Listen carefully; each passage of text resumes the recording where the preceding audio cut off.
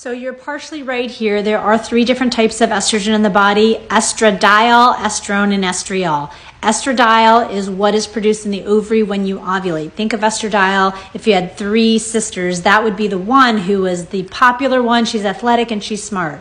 And then the second type would be estriol. That is an estrogen that's really not made very high quantity unless you're pregnant. It's made by the baby in the placenta. And so it's a metabolic byproduct. It's only created when you break estrogen down in estrogen detoxification. So it's the weakest estrogen.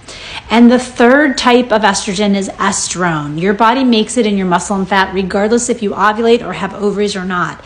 Estrone has been shown to have a higher affinity to the receptors in your breast and uterus. What does that mean? It means if it was given a choice, it wants to make growth in the uterus and the breast. And so unregulated growth causes cancer. So that is one of the things that contribute to cancer.